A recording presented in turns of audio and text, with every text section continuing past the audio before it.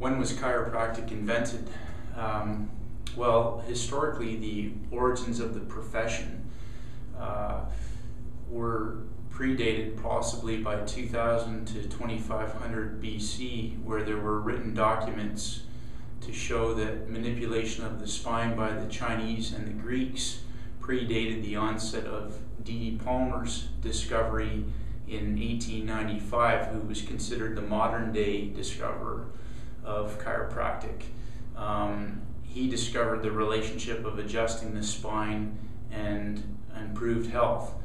Uh, the profession was brought forward from that point uh, from a league to a legal and primary care provider standpoint by his son B.J. Palmer in the early 1900s.